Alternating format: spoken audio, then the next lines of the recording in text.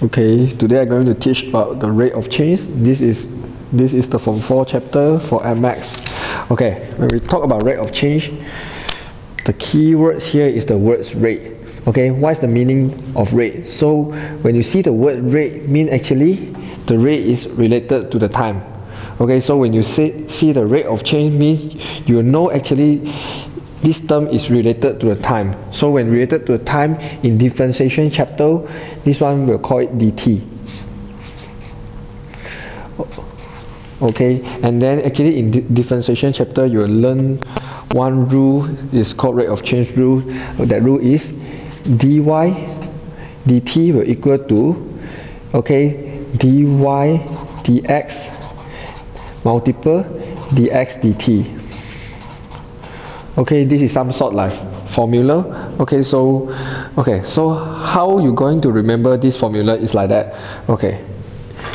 If if I write dy dt here means if the question asks uh, want you to find about dy dt okay first thing is you write dy first. And then dt you write on another side. You write dt here. And then put a multiple and then put to uh, put two line here. Why, why you need to put two line? Because actually dx and dx you can simplify. After you simplify dx and dx, you, you got 1 and 1. So dy multiple 1, you got dy. dt multiple 1, you, you got dt. Therefore, you can straight away got dy dt. So, and then, so here you write dx dx. Okay. So the key point here is actually y and x can be anything. Means if you do the past year questions, sometimes you didn't see y, may, maybe you will see dv, means he differentiate the volume uh, over time. And then when this is volume, maybe x he can change to radius, so maybe this one will, will become dv dr multiple dr dt. Okay, okay, if you can understand about this one, let's have a look on the sum of the past year question. Okay, okay, so in this question, he say a blocks of ice in the form of the cubes with size x cm and then melt at the rates, rates of 9.72 cm cube per minute. And then he asks you to find the rate of change of the x at the instant when x equal to 12. Okay, first thing is, okay, he said a block of ice in the form of a cube. Okay, when you see cube, cube will means actually you will have a volume with the same side. When you see cube with the side of x mean, means the height of the cube is x, the length of the cube is x, and the width of the cube is also x. So therefore, the volume of the ice cube will equal to x multiple x multiple x. So it's x cubed. Okay, so first thing when I got the volume will equal to x cubed, so the first thing is I, I need to differentiate the volume. So when you got the v here and x here, this one we call dv dx. So I write dv dx. Okay, so when you differentiate, you just move the 3 to in front and then 3 have to minus 1. So when I move the 3 in front, I will got 3x and then 3 have to minus 1 square. This is for dv dx. And then in this question he give a very good information. He said the okay melt at the rate of 9.72 cm cube per minute. Okay, first you see the unit cm cube. What's the meaning for cm cube. Okay, cm cube, obviously this one is for volume. When you see the unit got cube, actually this one is for volume. And then per minute, when you see per minute, this one is for time. So this one for volume over time. Volume over time. So you see cm cube per minute. So this is dv dt. Okay, and then he, actually he give, it, give you another hint. He said rate he, he said the word rate. So when you see the word rate means you know it's actually is related to the time. So therefore, the value here is 9.72. 9.72. And then because he said melt at the rates of 9.72 means actually the, the, the block of ice will become smaller and smaller and smaller because it used the word melt so you have to add a negative okay? And then you give you have these two information okay? So and he asks you to find the rate of change of x.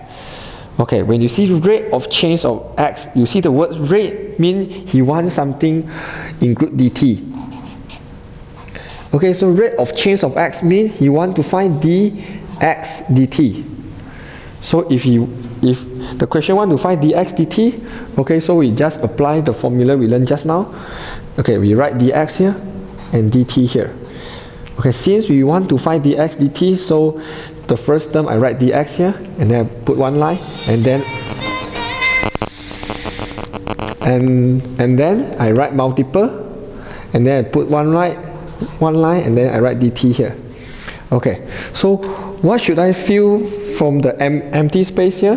The empty space here I will fill with the dv because we have we have dv here. Because after that we have to simplify the dv so I write dv here and dv here.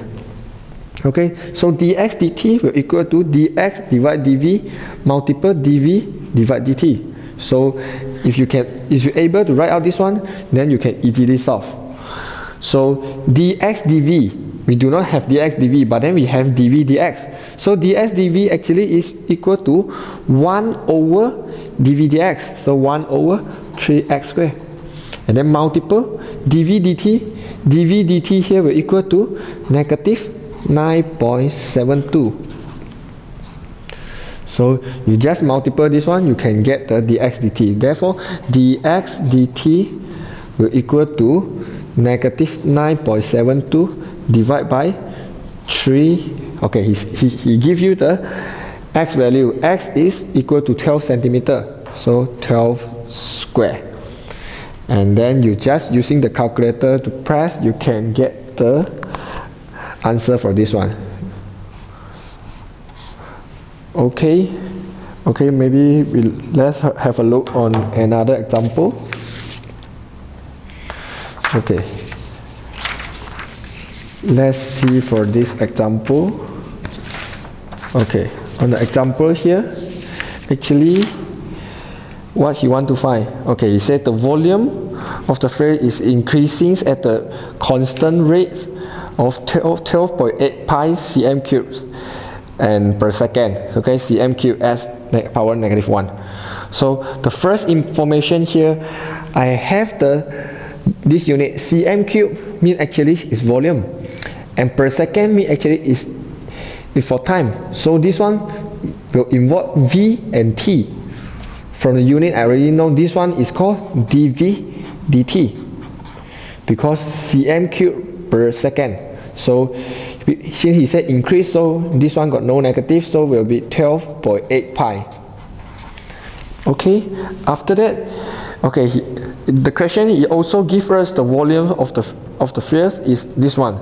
So obviously I, I write out this one v equal to 4 over 3 pi r cube so if I differentiate this one with the r what I will got is I will got dv dr will equal to I move the 3 in front will become 3 multiple 4 over 3 pi r and then 3 have to minus 1 become 2 and then this one I just simplified I will got 4 pi r square is for dv dr okay because all the information the question give you you you you have to use it.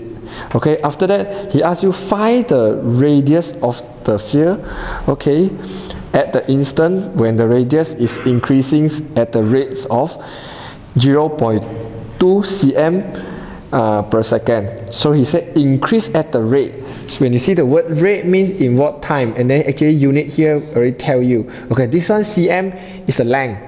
Okay so obviously the length for here we only have r. So the cm will for the length of radius. And then per second this one will involve time t. Okay therefore this one is called dr dt. Will equal to 0.2 okay so after you got this one okay after you got this one he say find the radius of the sphere at the instant when the radius is increasing. Okay he said when the radius is increasing at the rate. So obviously radius increase at the rate means dr dt so dr dt equal to 0.2 so after you got this one he want you to find r. So in order to find r you just put everything uh, okay you just put everything here. So let's okay let's see. We, we write, okay, d, dr dt will equal to, okay, dr dt will equal to, you write dr here, and then put a line, and then multiple, you write dt on the bottom. And then you have to simplify something, so you see what is the something here, obviously it's dv. So I write dv here, I write dv here. Okay, so therefore, dr dt equal to 0.2, I put 0.2. And dr dv dr dv dr dv we do not have dr dv but then we have dv dr so dr dv will equal to 1 over this one. So you got 1 over 4 pi r square and then multiple dv dt is 12.8 pi so we just need to solve this one in order to get the correct answer so if you need to solve this one what we will have is Okay, because he want us he, he want us to find the radius. So we want to find r. So what we do is okay, so we just multiply everything here. So 0 0.2 will equal to 12.8 pi divide 4 pi r square.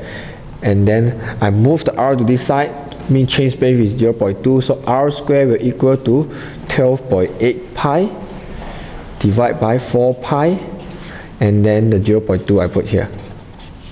So therefore, r square with okay, pi and pi I can simplify.